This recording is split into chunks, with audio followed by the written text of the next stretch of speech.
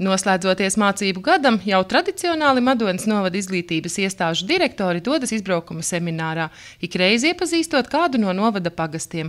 Šoreiz ceļš vedis uz Vestienu, dodot iespēju tuvāk iepazīt arī Vestienas pamatskolu, kas mājvietu radusi vēsturiskajā mūža sēkā. Mēs atskatāmies uz aizvadīto mācību gadu, kā esam strādājuši, īstenojuši izvirzītos uzdevumus un prioritātes. Viena no prioritātēm un semināra aktuālākajām tēmām - jauna kompetencēs balstīta vispārējās izglītības satura ieviešana, ko Eiropas sociālā fonda projekta ietveros paredzēts īstenot līdz 2022. gada beigām. Pedagogs ir tas galvenais cilvēks skolā, kas ieviesīs šo jauno saturu, jauno pieeju un tas, kā mēs arī uzsvērām, lai tā būtu interese, kas radīta aktīvā, pētnieciskā, eh, praktiskā darbībā, mācoties darot jau no pirmskolas vecuma līdz pat vidējās izglītības posmam. Savukārt, atskatoties uz aizvadīto mācību gadu, tas tiek vērtēts kā darbīgs, taču brīžiem nevajadzīgām emocijām pārbagāts. Mēs esam pieraduši, ka izglītībai katru gadu kādas nianses un, un mainīgā daļa, bet šis gads bija varbūt tāds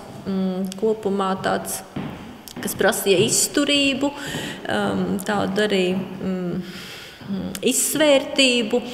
Ehm, varbūt arī kādā brīdī nolikt emocijas malā. Viens no jautājumiem, kas pēdējā laikā radīs neapmierinātību daļā sabiedrības un jau pieminēto emocionalitāti, ir izglītības iestāžu attīstības plāna apstiprināšana, kas paredz skolu reformu, tostarp skolu apvienošanu. Šis varbūt arī tas tāds pagrieziena punkts, kad mēs paši kā sabiedrība kopumā saprotam, ka mēs nevaram ļauties tādai laika ietekmei um, Te runājot par demogrāfiju un, un, un teiksim, iedzīvotāju skaitu, ka mums pašiem ir lietas jāņem savās rokās un jāpiepilda atbilstoši tai situācijai, kādā mēs dzīvojam, un, un jāpiepilda tik labi, cik mēs šajā brīdī to varam izdarīt. Kā uzsver pedagogi, arī šāda veida semināri tiekoties ar kolēģiem un pārunājot aktualitātes, paver iespēju pieņemt racionālus lēmumus un atskatīties uz paveikto mācību gada ietvaros. Tas ir kopsavilkums visam mācību gadam ko mums sniedz izglītības nodaļa savā informācijā. Nu, protams, arī mēs viens otru ieraugam un satiekamies un sarunājamies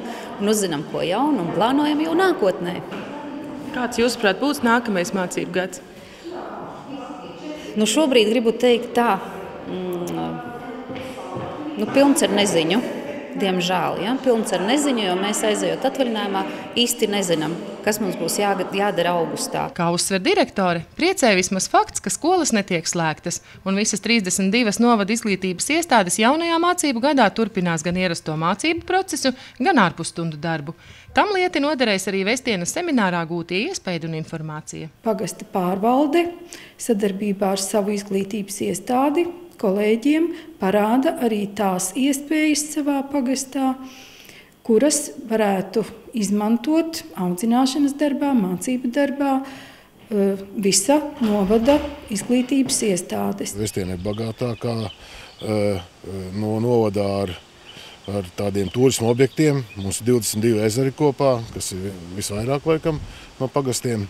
Skolas direktoriem gribētos parādīt tā kā tādus lielākos objektus, kas ir Burau muzejs, kas saistās ar, ar ļoti daudz latviešu paudžu mantojumu un, un, un šīm skaistajām leļu filmām ar Jāņu kalniem, kas ir viens no lielākajiem mūsu ražotājiem un kas arī novadā piedalās skolas auglī. Nu, un, protams, Kālezers, kam ir uz riņķa šīs atpūtas vietas. Izbraukuma seminārs Vēstienā noslēdzās ar zemnieku saimniecības dadzīšu apmeklējumu, iepazīstot aktīvā turisma iespējas.